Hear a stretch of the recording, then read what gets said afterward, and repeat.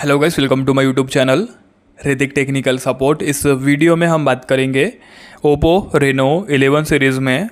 अगर आप ऑडियो को इंक्रीज़ करना चाहते हैं साउंड को इंक्रीज़ करना चाहते हैं तो क्या सेटअप आपको करना है जिससे आपका साउंड इंक्रीज़ हो जाएगा, वो हम आपको इस वीडियो में बताएँगे। Okay so first of all please subscribe my YouTube channel and press the bell icon आपको सबसे पहले सेटिंग्स ओपन करना होगा देन आप क्लिक करिएगा।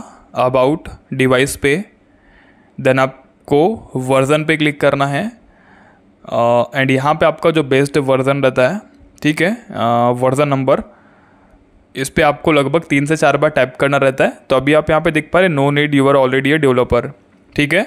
तो सिंपल आपको तीन चार बार आपको यहाँ पे टाइप करना है। टाइप करने के बाद क्या होगा कि आपके डिवाइस में डेवलपर ऑप्शंस इनेबल होगा।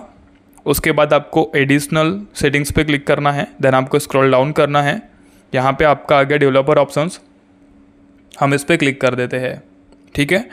एंड यहाँ पे क्लिक करने के बाद जो है, आपको थोड़ा स्क्रॉल डाउन करना है। काफ़ी सारे फीचर्स हमें यहाँ पे देखने को मिलते हैं तो आप लोग थोड़ा कन्फ्यूज़ मत होइएगा, ठीक है? एंड यहाँ पे देख पाएँगे आप लोग इनेबल एब्सोलूट वॉल्यूम ये फीचर रहता है आपका। तो सिंपल आपको इसे डिसेबल कर देना है। जैसे ही आप इसको डिसेबल करेंगे तो आपका जो एब्सोलूट वॉल्यूम रहता है, वो यहाँ पे डिसेबल हो जाता है।